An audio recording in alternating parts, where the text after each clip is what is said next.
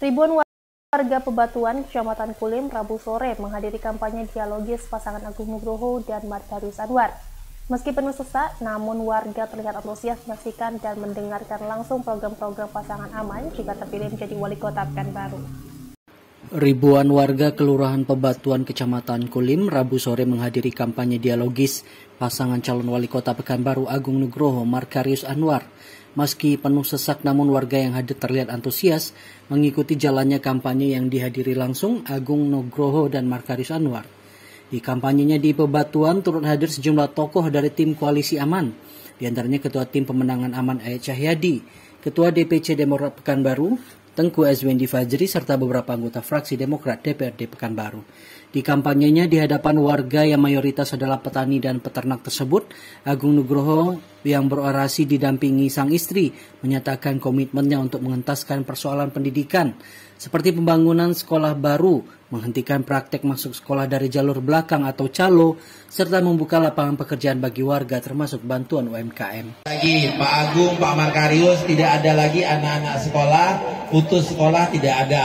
Yang kedua Pak, tidak ada lagi anak-anak masuk lewat jalur belakang. Tidak ada lagi namanya kita buat tidak pengaruh sistem jonasi. Kenapa? karena kami akan bangunkan sekolah-sekolah di mana lingkungan yang padat ini. Salah seorang tokoh masyarakat Pebatuan Kulim, Herman berharap jika aman menang maka tidak ada lagi warga Kulim yang anaknya putus sekolah.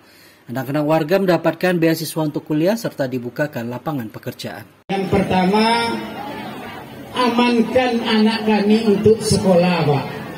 Jangan ke sana ke sini kami tidak diterima karena alasan zona. Kemudian yang kedua Pak, amankan UKM kami dengan bantuan subsidi Pak. Kemudian yang ketiga, kalau memang banyak yang nganggur Pak ditolong, bantu semuanya.